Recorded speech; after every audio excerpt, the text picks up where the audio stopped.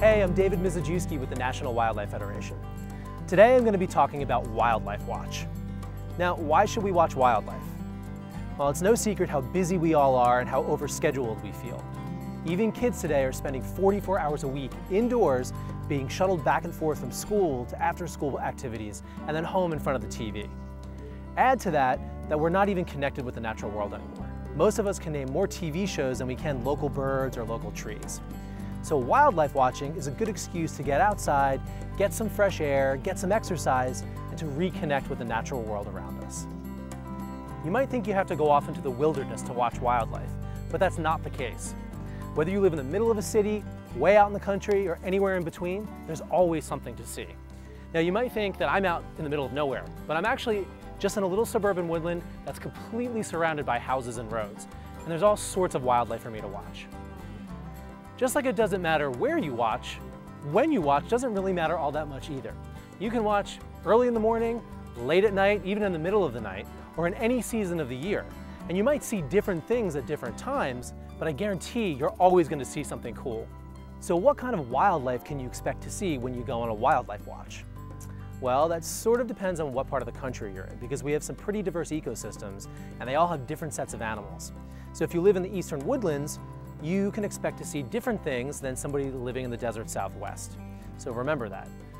We also have a pretty broad definition of wildlife for this program, Wildlife Watch. So we're not talking just about animals, which include birds and mammals, reptiles, amphibians, fish, and even insects. But we're also talking about plants because plants are wild living things that are around us and they're doing some pretty cool things that you can observe as well. Animals also leave lots of signals and signs that they're around.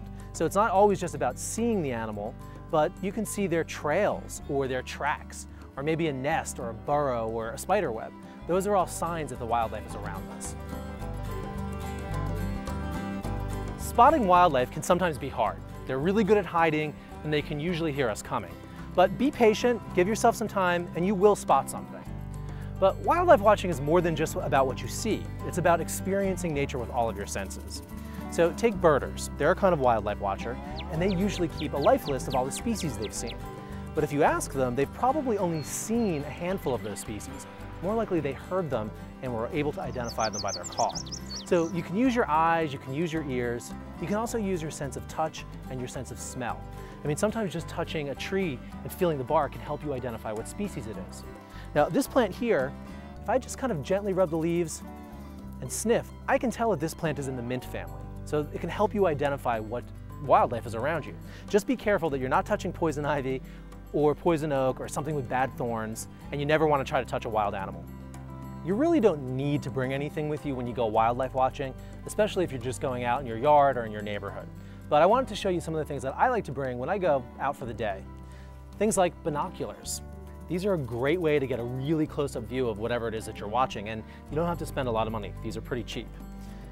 I like to bring a camera too, because not only is it great to sort of document the experience, get some good family photos, if I'm having trouble identifying something, I can bring the photo back home and use resources online or field guides. Or you can just bring the field guide with you. This is National Wildlife Federation's new bird field guide, and I use this a lot to help identify the birds that I'm seeing or hearing out in the wild. If you're gonna be gone all day, you wanna make sure you bring water so that you stay hydrated, and you wanna make sure that you pack for the weather. I usually bring an umbrella, but if it's cold out, I'll bring gloves and a hat and a scarf so that I don't get too cold. I actually like to bring like a notebook or something like that where I can take more detailed notes and sometimes even do some wildlife sketches. That can also help you identify things when you get back home. And if you're gonna be going far away from home, you're gonna be out all day, you do wanna bring um, a first aid kit because if anything should go wrong, if you fall or get cut, you wanna make sure that you're prepared.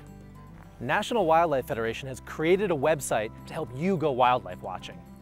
You can get our list of species that we picked for every state that we change seasonally. So you can read descriptions of the things that you can see when you go watching, and you can also print off a list to take with you. Now, if you need a place to go wildlife watching, you can use our Nature Find feature. All you do is type in your zip code, and you'll get a list of all the parks and the trails and nature centers near your neighborhood where you can go wildlife watching. Now, once you've gone wildlife watching, we want you to join our community. You can upload your photos and share your stories and see the photos and the stories of others who have gone wildlife watching.